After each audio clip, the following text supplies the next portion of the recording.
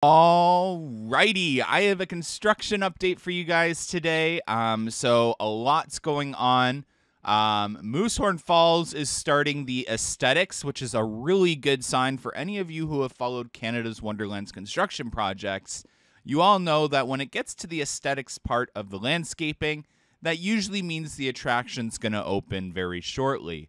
In fact, Yukon Striker, the aesthetics were started like literally, I think, like three days before opening um, and same with Tundra Twister and all that. So it is a good sign. I know we still have certification to go and TSSA approval and all that, but um, I do suspect putting the final two weeks, like for sure it's going to be open within two weeks as long as there's no problems, I think is a safe bet.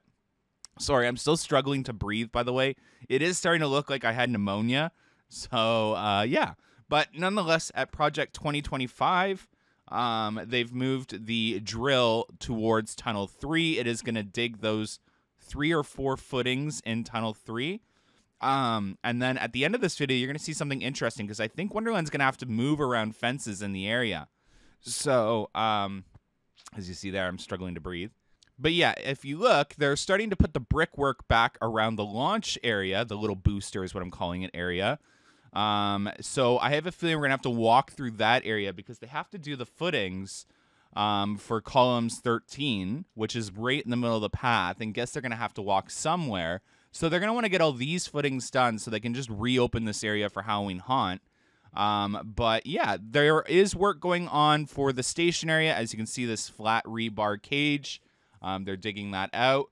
Um, so currently, when I filmed at 1:30, they were still working on the station footings and then the turn into the launch footings.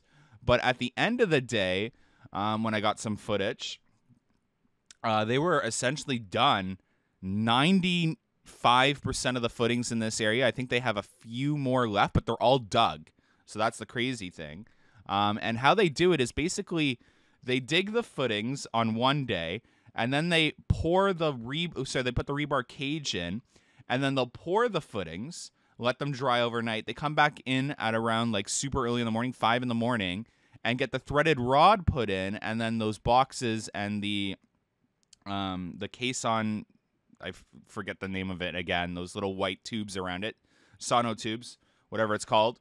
Um, and then they pour the next day again. So it's a, it's like a two day project. And this was one of their quickest moving days that I have seen. The most amount of footings done in a day that I have seen. Look, it's a lot.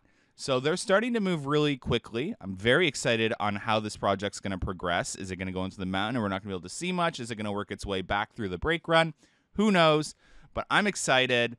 Um, thank you so much for watching the daily construction updates and stay tuned for our next one. Bye, guys.